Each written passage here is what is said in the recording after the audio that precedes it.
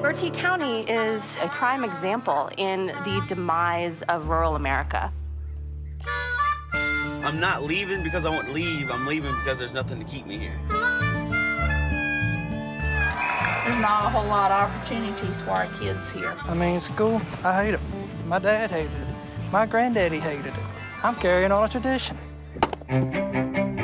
We have kids coming through that door any minute. What if you could bring back shop class, but orient the projects around things that the community needed?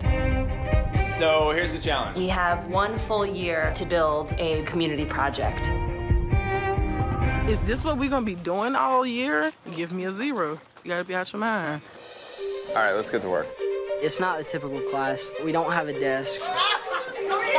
It's crazy. What I hope to see in 16 weeks is that little model full size. We're making something for the town of Windsor, so we have to make it right. We're racing the clock. Throw that stuff away. There's nails sticking up. All I'm asking is that you do a halfway decent job. So at the end of his little pep talk, The pressure's on now. our offered salaries have been taken off the table. Bertie County has never paid him a dime. We're at our absolute limits. I'm not having this discussion. Everything just fell apart. Yes, it does have to be part of it. We just decided that something had to give.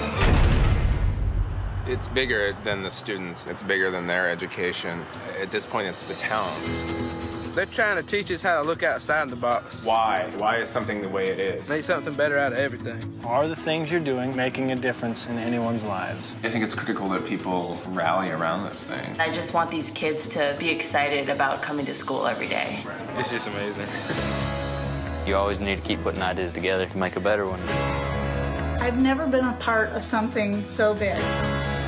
Breakthrough moments happen so rarely that half the time you think you're just doing a lousy job as a teacher. But when it does happen, I mean, it just floors you. The farmer's market is the beginning. To stand here and look around, it's just amazing. It really was a blessing. I love those guys. I'm just, I'm so proud of them. This is something that really can transform lives. It's a once in a lifetime opportunity, and it happened to us.